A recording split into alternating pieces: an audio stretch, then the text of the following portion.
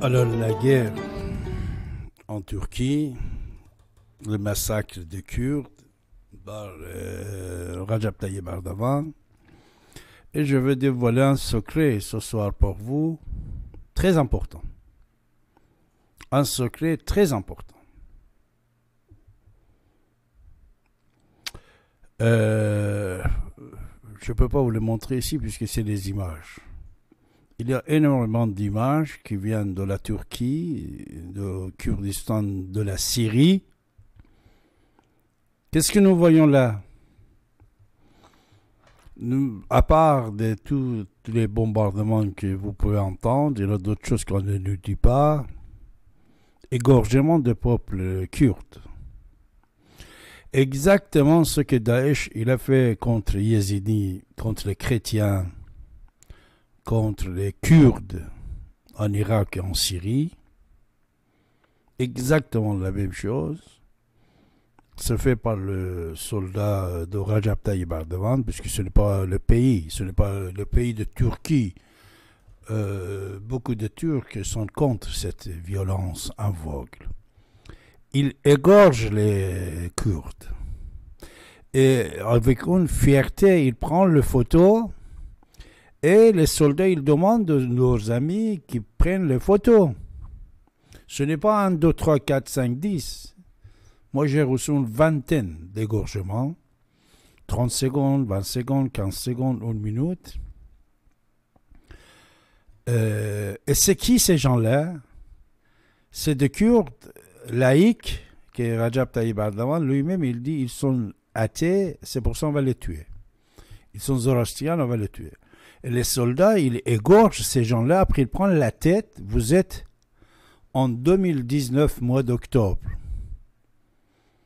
On est au mois d'octobre 2019, 21e siècle. Ce pays-là, ils prétendent d'être entrés en Europe. Il égorge. C'est son compatriote, c'est ses frères c'est ses frères de son pays. Il y a un député kurde dans le parlement de la Turquie. Son nom c'est Farhad Anjavi. Il a parlé, mais il est en turc. Quand je diffuse, vous l'entendez, vous ne euh, comprenez rien. Je vous dis ce qu'il dit. Il dit Vous êtes en train de nous massacrer, les Kurdes. Mais vous avez oublié que vous, les Turcs, vous êtes envahisseurs ici. Là, ici, en Anatolie, c'était la Rome. C'était pays des Arméniens. C'était pays des Kurdes. Vous êtes chez nous et vous êtes en train de nous massacrer. Après, dans le Parlement, écoutez bien, mes chers amis, ce n'est pas de, des histoires, c'est la vérité, c'est avant-hier, ici et maintenant en Turquie, frontière de l'Europe, même pays dans l'Europe. Farhad, il est en train de parler, député turc, et kurde bien sûr dans le Parlement de Turquie, il est en train de parler. Les autres députés, ils crient. Vous savez qu'est-ce qu'il dit? Il dit tirer sur cet individu, tuer cet individu. Et le président du Parlement, il dit Monsieur Farhad, arrêtez-vous, ne dites pas n'importe quoi, je veux vous mettre 5 ans en prison. Après, quand il continue à dire Pourquoi vous nous massacrez Pourquoi vous massacrez le Kurde euh, etc., etc. Après, il dit Écoute, Farhad, je vais te mettre en prison 10 ans. Et encore dix fois, d'autres députés, ce n'est pas un ou deux, plusieurs, ils crient il dit tuez cette personne, tuez cette personne, tirez sur cette personne. Et parmi les films que si vous voulez le regarder, vous pouvez regarder sur YouTube. Il suffit de taper égorgement au nom de Allahu Akbar, quelque chose comme ça vous tapez, vous allez tomber au-dessous. Égorgement au nom d'Allah Akbar depuis 1400 ans à ce jour tout ça, vous tapez sur l'internet YouTube, vous, allez regarder. Mais les propos de Farhad, député kurde dans le Parlement, mm, de Turquie, et même égorgement des soldats, des militants kurdes, avec une fierté, on voit que tous ces gens-là, où ils sont vivants, ils tout, ils égorgent. D'autres films qu'on m'avait envoyé cet après-midi encore, j'ai regardé, c'était tellement triste, j'ai presque pleuré. Pas presque, réellement j'ai pleuré. Hein. Vous savez, deux Kurdes, deux filles, deux belles filles kurdes. On a attaché les mains de ces deux personnes-là par derrière. Il y a un trou devant eux ils sont vivants, on l'exécute sans passer dans n'importe quel tribunal. En tout, ces deux filets, on le jette dans le trou qu'ils ont fait depuis. Euh, bien sûr, ces deux personnes-là, quand nous le voyons, mais des dizaines de personnes euh, dans les minutes qui est passées ou qui, était, qui va passer, ils ont exécuté comme ça. Ici et maintenant, aujourd'hui, en Turquie, mes chers amis. Et nous passons devant, même quand on va voir ces films-là, on dit Oh non, non, c'est un peu. Oh là là, je ne peux pas regarder ça, je ne peux pas regarder égorgement des gens, je ne peux pas regarder. Si toi, tu n'as pas envie de regarder, mais c'est des individus, c'est des êtres humains qui étaient égorgés. Des êtres humains. Ces gens-là, en plus, hier, ils étaient à côté de vous, ici en Europe. Parce que pour nous parler de ces gens-là, c'est des réfugiés kurdes en Europe. Pour le parle. C'est des réfugiés, c'est des belles filles, éduquées, intelligentes. Ils donnent leur vie avec une conscience pour leur peuple. Regardez, égorgement de Kurdes en Turquie, ici et maintenant. Daesh, c'est fini. Mais maintenant, c'est ici que vous pouvez savoir et connaître. C'est qui qui a créé le Daesh Je vous avais dit déjà, il y a plusieurs années, je vous ai dit Daesh, c'était créé par qui? Encore une chose, tenez-vous bien. Cette information, c'est très important. Malheureusement, je n'ai pas d'image de vous montrer. Vous êtes obligé de me croire sur parole. On m'a envoyé des photos et j'ai fait des enquêtes et les photos c'est réel.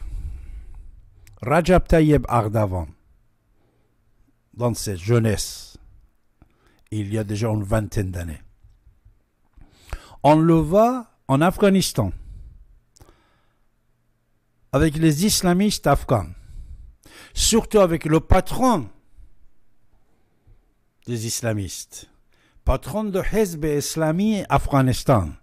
Je le connais cette personne, il s'appelle Golbuddin Hikmatyar.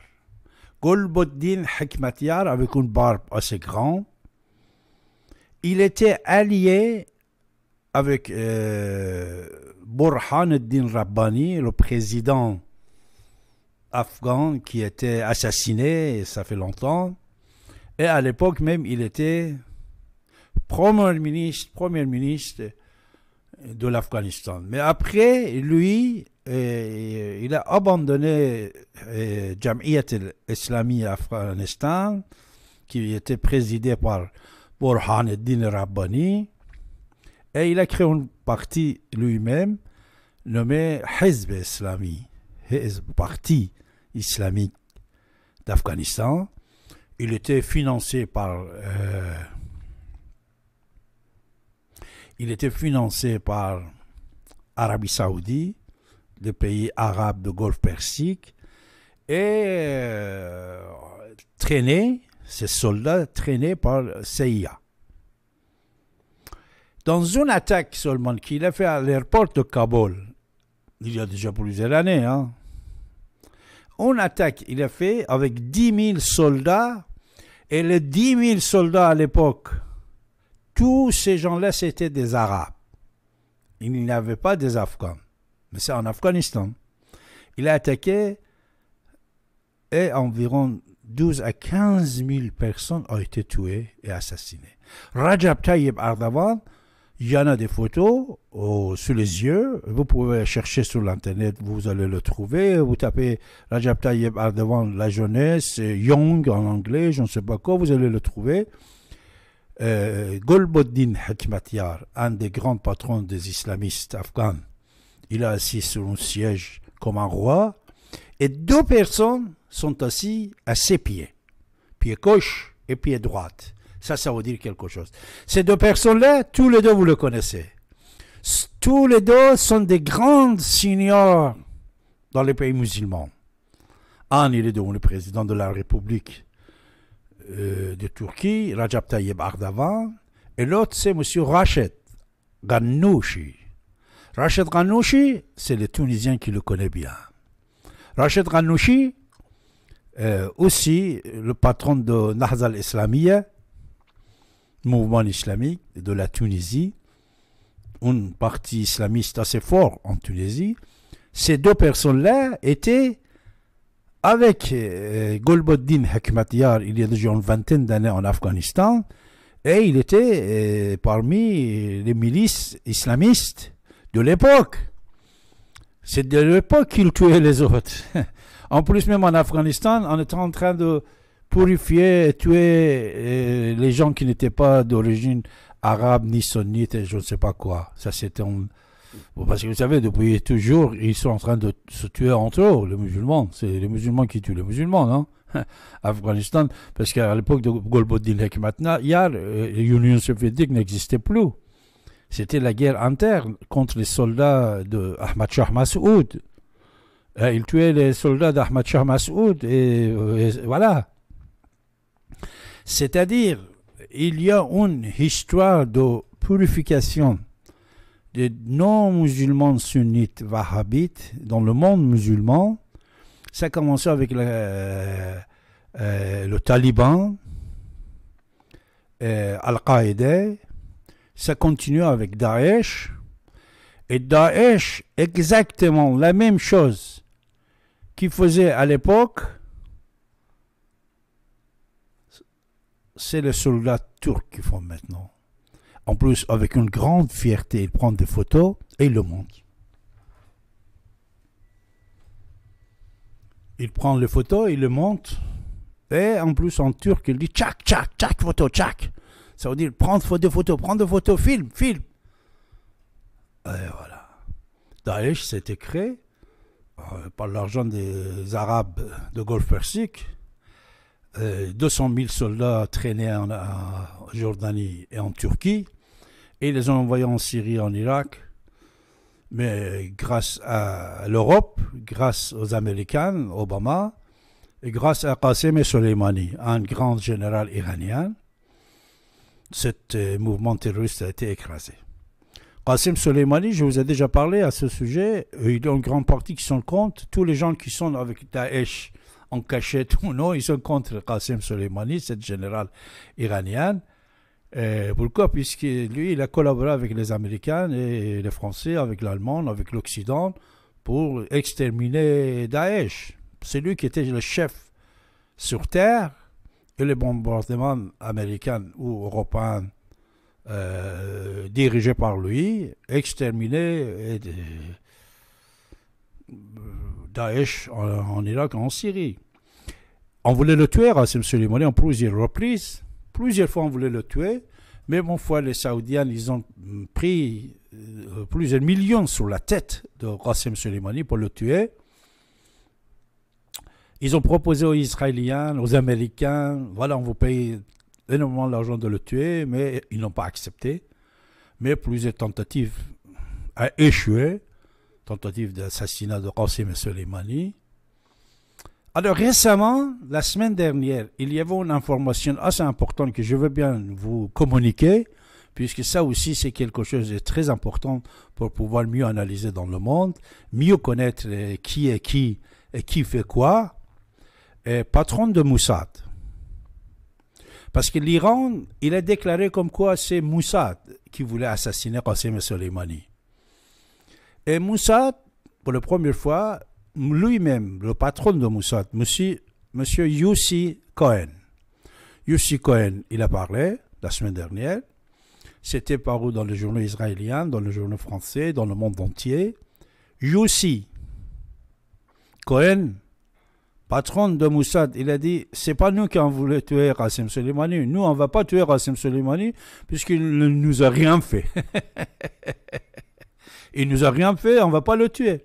Parce que vous savez, ils sont en contact avec lui concernant le Liban, la Syrie, même depuis Tchétchène, tout ça, il est en contact avec l'Occident. Il est en contact avec l'Occident.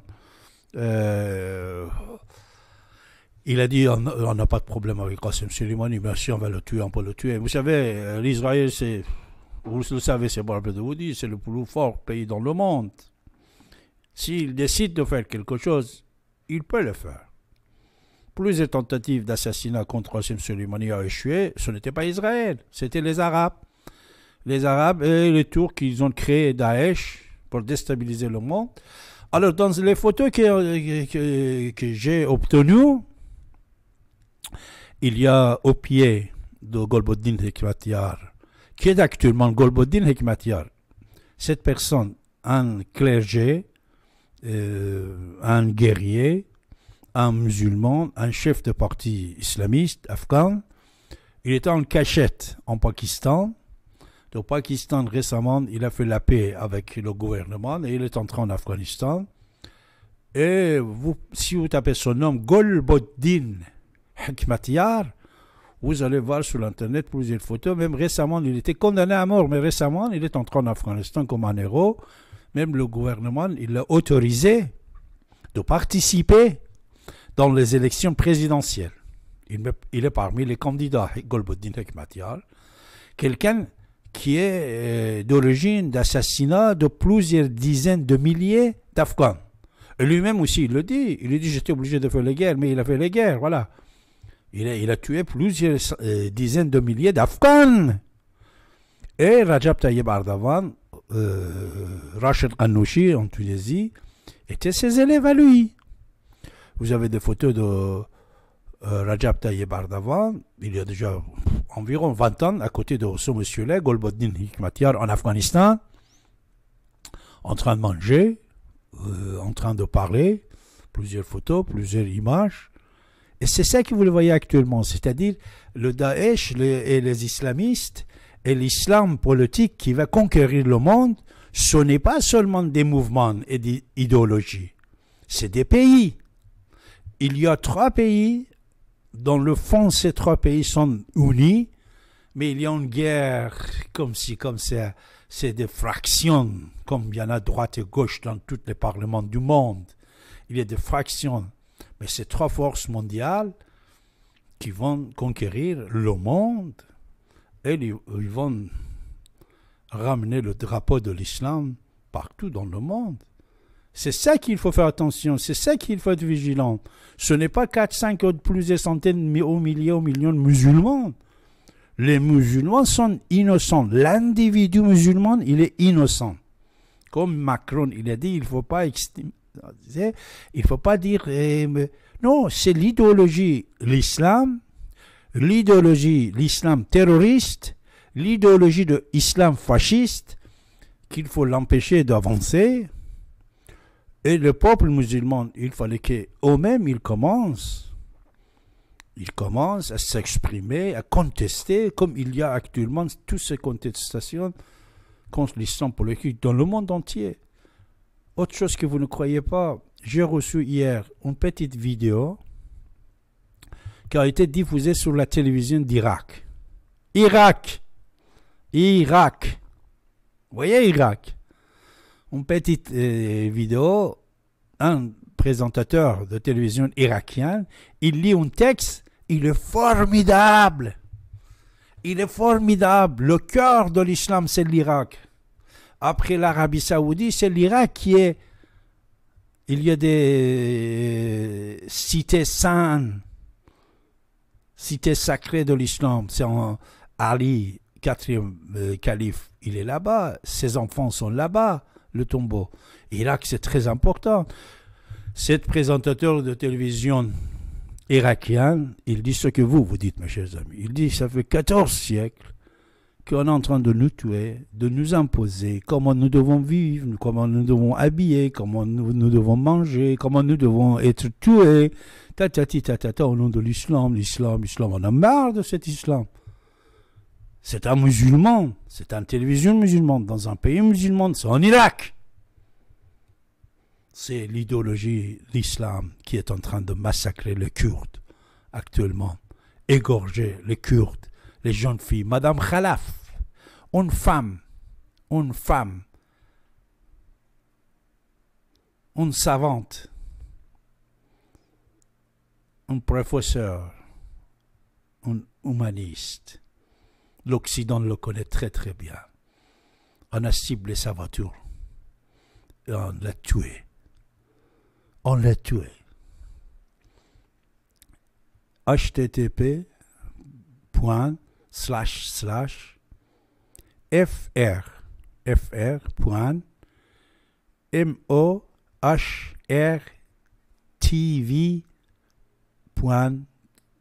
.com.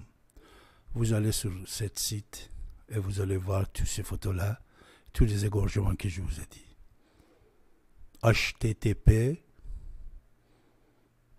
slash slash c'est à partir d'ici qui commence.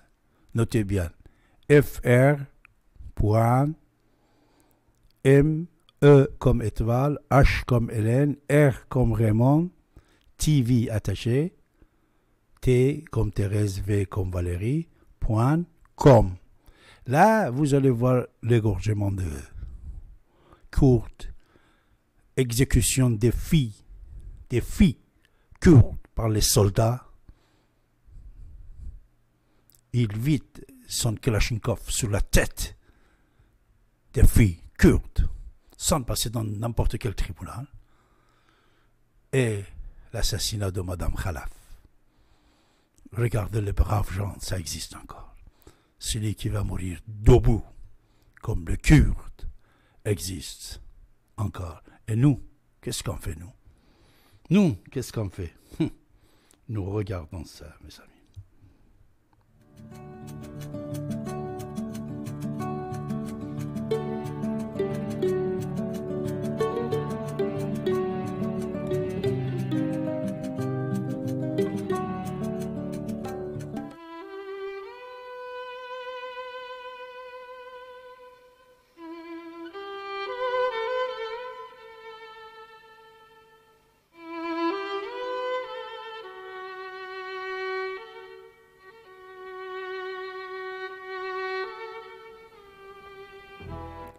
Vous écoutez Radio ici et maintenant sur 95.2 FM, sur internet ici et maintenant.com, sur la RNT, le canal 9A. Vous avez la parole en composant le 08 92 23 95 20. 08 92 23 95 20.